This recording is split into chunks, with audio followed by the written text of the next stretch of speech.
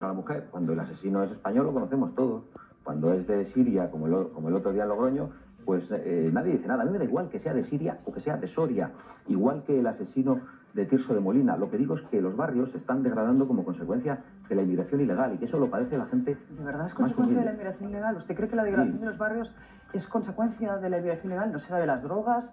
Eh, No, en fin, no, no tendrá otros orígenes que hay que Bien, combatir? acabo, acabo de decir, el tráfico de drogas. son necesarios y usted lo sabe, entre otras cosas, para pagar las pensiones del futuro, aunque solo sea por puro Pero, egoísmo. pero de verdad, si los que nos están escuchando en estos momentos, que es buena gente, que no tiene ninguna actitud eh, xenófoba, que entiende que muchas personas que vienen lo hacen con necesidad, saben perfectamente que mucha inmigración que llega lo que hace es recibir la ayuda social que no llega al español y que el español cuando va a solicitar ayuda social le dicen, no, usted tiene arraigo,